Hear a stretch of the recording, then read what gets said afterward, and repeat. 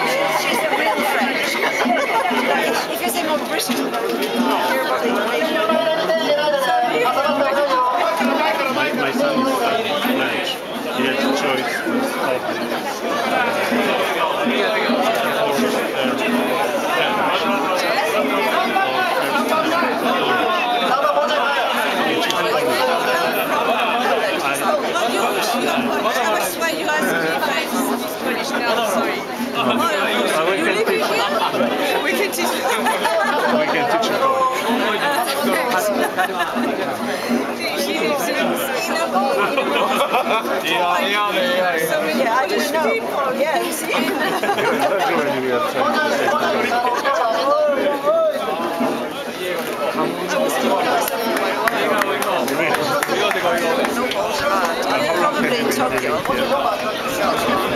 인삼 맞고 나오는 아, 이거 지금 김만이 부르고 있어요.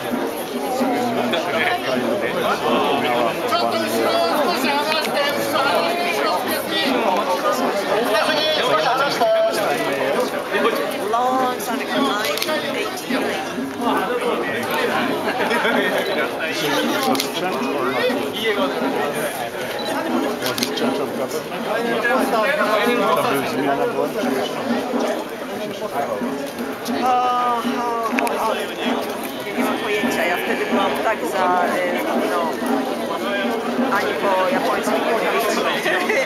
Byłam absolutnie. I byłam e, na takim bardzo intensywnym kursie. Tak, żebyśmy rano wstali o 5 do godziny 10 po praniu mózgu. Także co się działo? Shimoda, Shimoda.